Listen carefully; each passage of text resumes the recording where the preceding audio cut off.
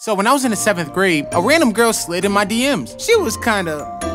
Okay, she was beautiful. Her profile said she went to Winslow Township, and I had a couple friends that went to that school. One of my friends said she knew the girl, and that was all the confirmation that I needed. That girl and I started talking every day, and I was on cloud nine. One day at school, Brayton came up to me and said, Why are you so happy? I'ma smack that smile off your face. Brayton, there's nothing you can do to turn my smile upside down. I'm in love. Oh, your girlfriend probably ugly. Ha, you wish. Look at this picture.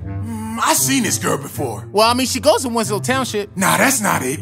Wait a minute. Ain't this Jamie Spears from Zoey 101? Wait, what? This says Jamie Spears from Zoey 101. Hey, everybody! Desmond's being catfish. Nuh-uh, she's real. She's real. So when I got home, I used this app called Celebrity Lookalike. The link to the app is on my page. And sure enough, she was a complete match for Jamie Spears. No, no, no! I've been catfish. But wait, why did my friend say she knew her? Find out in part two.